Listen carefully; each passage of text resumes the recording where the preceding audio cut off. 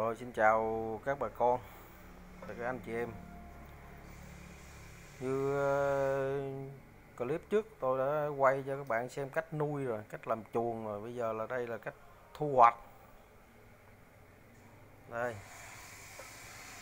Thì lúc đầu dự định là anh em tôi chỉ nuôi chỉ phục vụ cho cái cái cái con vật nuôi của nhà thôi. Nhưng mà hôm nay thì người ta gọi điện người ta đặt hàng nhiều quá. Đây là cách ờ, thành một con đặc sản, nhậu cực kỳ ngon.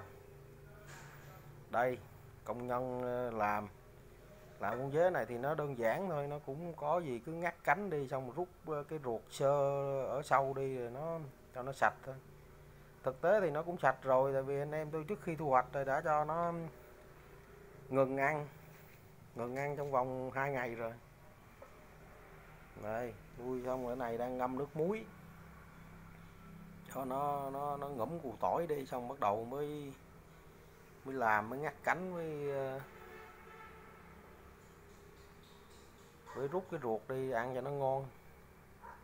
Đó bữa qua thì anh em tôi thu hai chuồng này được 20 kg nhưng mà bữa qua đây tôi bận quá tôi không quay clip thì đã bán hết số lượng kia rồi. Hôm nay thì còn lại được uh, 7 8 kg nữa thì cũng làm luôn.